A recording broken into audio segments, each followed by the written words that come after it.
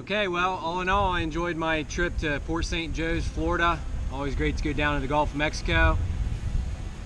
Good to get back to good old Buckeye Ocean. Uh, just got this one here, 23 inch, four pounder, middle of the day, two o'clock.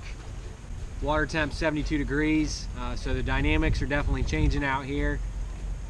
Fish are eating at weird times, so I, I found this one just where I've been telling you on uh, some shallow flat areas with sandy bottom, probably about three or four feet deep.